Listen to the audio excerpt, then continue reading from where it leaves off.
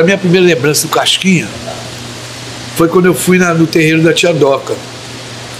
Que eu pude ver Chico Santana, eu conheci seu Alberto Lonato, Monarco eu já conhecia, aí eu vi o Casquinha de quem tanto se falava, né? Era um terreiro de chão de terra e vários bambas, vários.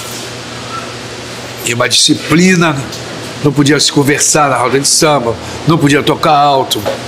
Era uma coisa muito séria. Antes de se cantar qualquer samba, eles faziam primeiro uma introdução. Mesmo que o samba fosse novo ali, eles chegavam para cantar um samba novo e cantava-se a primeira vez e depois cantava valendo. Como se fosse uma gravação, né? E eles improvisavam uma introdução e ao sinal do, do violonista, do cavaquinista, o autor começava a mostrar sua obra. Casquinha é uma figura Além de uma figura maravilhosa como pessoa, um grande compositor, um grande compositor de samba sicopado. Tá feita pra você corrigir. Nunca sua pra toda. Todos da minha geração se curvam pro, pra velha guarda.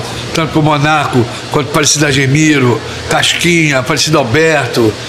Todo mundo tem um respeito muito grande por eles, que eles é que são os professores, né? A velha guarda, essa, que daqui a alguns anos seremos nós, tem que ter importância, porque eles que vem trazendo para a gente aprender. A gente não nasce sabendo. Esse mestre também gravou. O dia vem raiando, trazendo o da passarada. O recado que eu mandei a ela, eu dizia francamente: o nosso amor chegou ao fim. Foi, a resposta desse. É outro recado.